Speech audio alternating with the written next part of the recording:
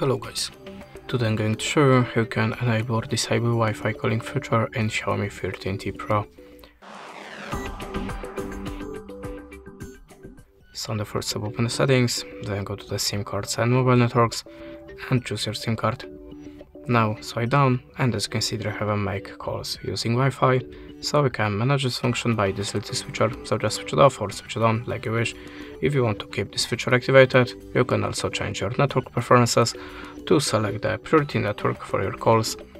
And this is how it works. Thanks for the watching, leave us a like, recommend and goodbye.